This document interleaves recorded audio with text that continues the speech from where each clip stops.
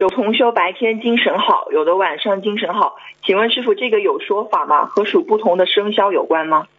两种了，一种是生肖啦，还有个习惯啦，还有嘛就是你自己本身上辈子的运程嘛，都有关系。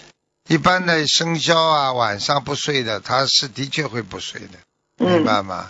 还有嘛，就这个习惯，晚上经常不睡觉，因为晚上不睡觉呢，他们有他们的道理。